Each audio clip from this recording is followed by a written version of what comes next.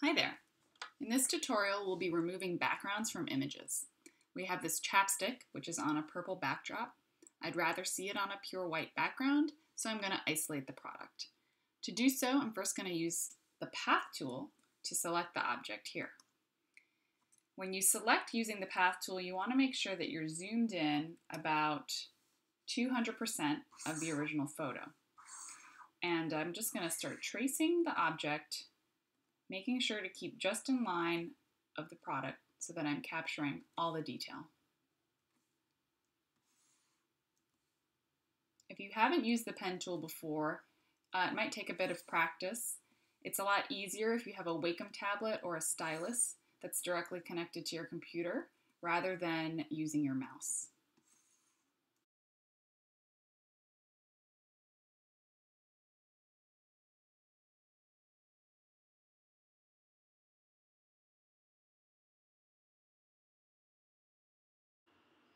Select, OK.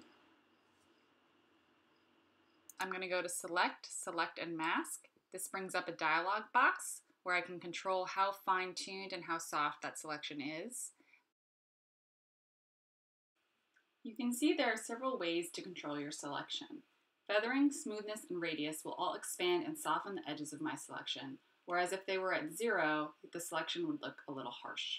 In this case, I usually set each to one or two, then I want to make sure that I'm clicking Output to New Layer with Layer Mask so that it's creating a new layer to work from. And then I'm going to hit OK once that's all set. Great.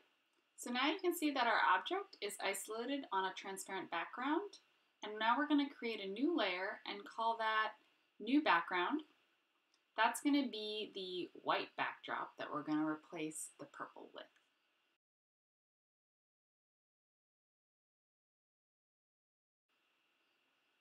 We want to drag that layer below the object. Use the color picker tool to select white. And then the paint bucket tool to click the background and fill it in. And there you have it. That's how you remove a product from its background.